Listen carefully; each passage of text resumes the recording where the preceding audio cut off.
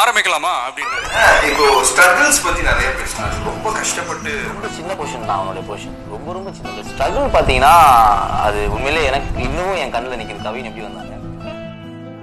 அவங்கள என்ட்ரி பண்ணதுக்கு அப்புறம் சீரியல் பீக்ல போச்சு ஒரு மாதிரி மக்கள் கிட்ட இருந்து இவன் ரொம்ப ஒரு மாதிரி ஓவர்டேக் பண்ணிட்டான்.